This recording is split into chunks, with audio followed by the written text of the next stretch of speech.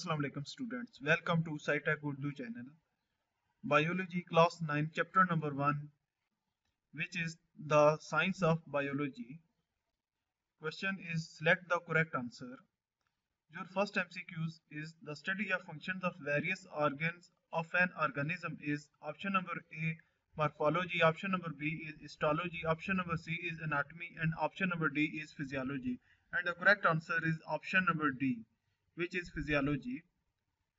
MCQs number 2 is histology is the microscopic study of. Option number A is tissues, option number B is cells, option number C fossils, option number D is plants. And the correct answer is option number A tissues. Next question number 3 is paleontology is the study of. Option number A environment, option number B development, option number C fossils and option number D is animals and the correct answer is option number C fossils. Next question number 4 is the other name of environmental biology is option number A ecology option number B biotechnology option number C is microbiology and option number D is cell biology and the correct answer is option number A ecology. Next question number 5 is microbiology is the study of option number A fungi, option number B animals, option number C plants and option number D is microorganism. And the correct answer is option number D which is microorganism. Next question number 6 is if a scientist is studying the methods of inserting a human insulin gene in bacteria, which branch of biology may this be? Option number A anatomy, option number B physiology, option number C is biotechnology and option number D is pharmacy. And the correct answer is option number C biotechnology.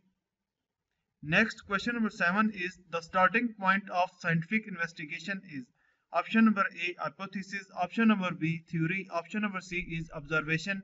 And option number D is data. And the correct answer is option number C observation.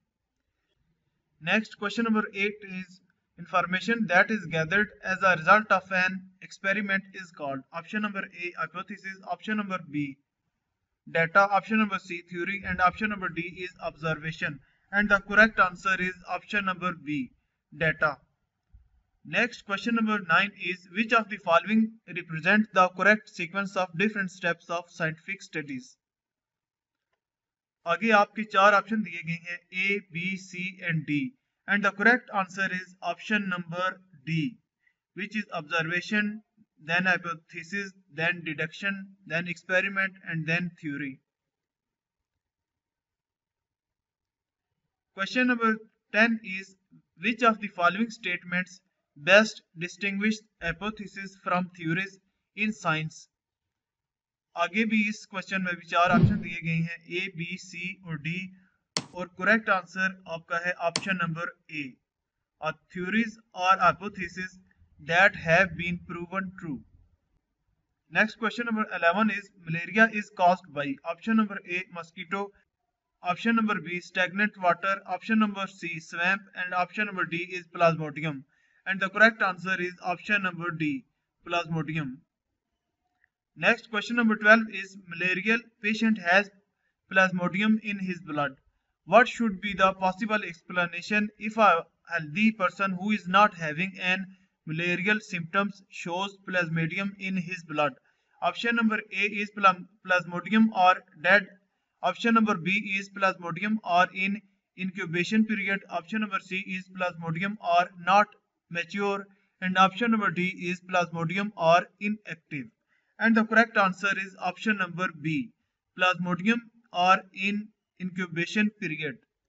Next question number 13 is you are doing a control experiment which इस question में भी आगे चार option दिए गए हैं A B C D जिनमें से ऑप्शन नंबर बी आपका करेक्ट है which is may include experimental groups and control groups tested in parallel.